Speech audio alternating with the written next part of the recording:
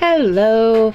So today's question is why do the belly bands not have characters, you know, princesses, a mouse, anything like that on them?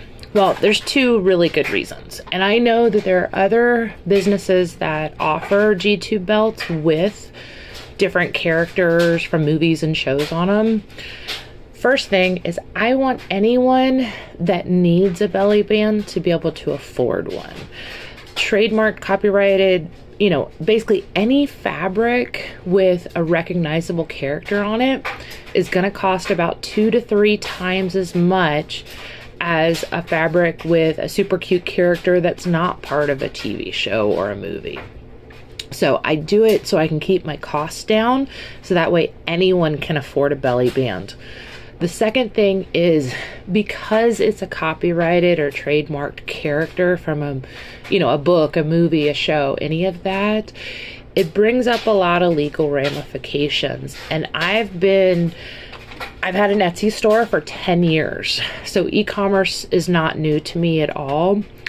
And I do not want to take the risk of getting into legal trouble, whether that means having my Etsy shop shut down, my website shut down, or even just, you know, possibly getting a bad reputation, and worst case scenario, being sued by one of these large companies.